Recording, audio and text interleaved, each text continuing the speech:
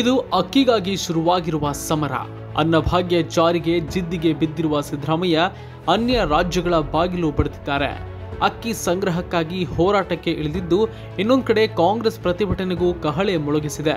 ಇತ್ತ ಬಿಜೆಪಿ ಕೂಡ ನುಡಿದಂತೆ ನಡೆಯಿರಿ ಅಂತ ಹೇಳ್ತಾನೆ ಇದೆ. ವಿಧಾನಸಭೆ ಚುನಾವಣೆಯಲ್ಲಿ ಬಿಜೆಪಿಯನ್ನ ಮಖಾಡೆ ಮಲಗಿಸಿದ ಯೋಜನೆ ಗ್ಯಾರಂಟಿ. ಅಕ್ಕಿ ತೂಕ ಇಳಿಸಿದ ಬಿಜೆಪಿಯನ್ನ ಜನ ಅಧಿಕಾರದಿಂದಲೇ ಕೆಳಗಿಳಿಸಿದ್ರು. ಇದಕ್ಕೆ ಅಕ್ಕಿ ಕಾಂಗ್ರೆಸ್ನ ಜೈಬೇರಿಯಲ್ಲಿ ಬಂಗಾರದ ಫಸಲು ನೀಡಿದೆ. ಕಳೆದ ಬಾರಿ ಅನ್ನಭಾಗ್ಯ ಕೊಟ್ಟು ಬಡವರ ಪಾಲಿನ ಅನ್ನದಾತರಾಗಿದ್ದ ಸಿದ್ದರಾಮಯ್ಯ ಮೇಲಿಟ್ಟ ಭರವಸೆ ಈ ಅಭೂತಪೂರ್ವ ಫಲಿತಾಂಶ. ಆದ್ರೆ ಈಗ ಇದೇ ಅಕ್ಕಿ ಯುದ್ಧಕ್ಕೆ ಚುಕ್ಕಿ ಇಟ್ಟಿದೆ. ಅನ್ನಭಾಗ್ಯ ಸಿದ್ದು ಸರ್ಕಾರದ ಮಹತ್ವಾಕಾಂಕ್ಷಿ ಯೋಜನೆ. ರಾಜ್ಯದ ಬಡವರಿಗೆ ಅಕ್ಕಿ ನೀಡುವ ಯೋಜನೆ. ಆದರೆ ಈ ಯೋಜನೆಗೆ ಕೇಂದ್ರ ಸರ್ಕಾರ ಅಡ್ಡಗಾಲು ಹಾಕಿದೆ ಅನ್ನೋ ಆರೋಪ ಕಾಂಗ್ರೆಸ್ ಮಾಡ್ತಾ ಇದೆ. ಹೇಗಾದ್ರೂ ಮಾಡಿ ಈ ಜಿದ್ದು ಗೆದ್ದು ಜನಕ್ಕೆ ಅಕ್ಕಿ ಕೊಡಬೇಕು ಅಂತ ಸಿದ್ದು ಹಠಕ್ಕೆ ಬಿದ್ದಿದ್ದಾರೆ.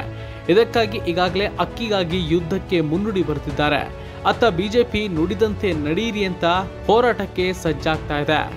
ತೆಲಂಗಾಣ, ಆಂಧ್ರ ಪ್ರದೇಶದವರ ಹತ್ತಿರ ಮಾತಾಡಿದ್ದೀವಿ, ಆದರೆ ಅವರು ಆಗಲ್ಲ ಅಂತ ಹೇಳಿದ್ದಾರೆ.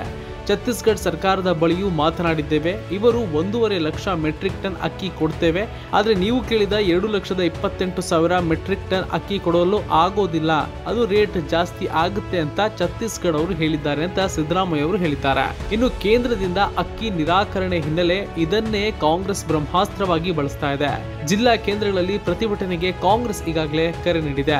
ಕೇಂದ್ರದ ವಿರುದ್ಧ ಪ್ರತಿಭಟನೆ ಮಾಡ್ತೀವಿ, ಕೇಂದ್ರ ಸರ್ಕಾರದ ವಿರುದ್ಧ ಬಂದ್ ಮಾಡ್ತೀವಿ ಅಂತೆಲ್ಲ ಕಾಂಗ್ರೆಸ್ ಕಾರ್ಯಕರ್ತರು ಹೇಳ್ತಾ ಇದ್ದಾರೆ. ಕಾಂಗ್ರೆಸ್ ಮತ್ತು ಬಿಜೆಪಿ ಮಧ್ಯೆ ಸದ್ಯ ಅಕ್ಕಿಯ ಯುದ್ಧ ನಡೀತಾ ಇದೆ.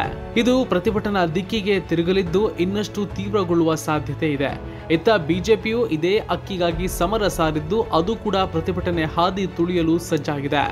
ಹೀಗಾಗಿ ಮುಂದಿನ ದಿನಗಳಲ್ಲಿ ಅಕ್ಕಿ ಕದನ ಯಾವ ದಿಕ್ಕಿಗೆ ತಿರುಗಲಿದೆ ಅನ್ನೋದನ್ನ ಕಾದು ನೋಡಬೇಕಾಗುತ್ತೆ.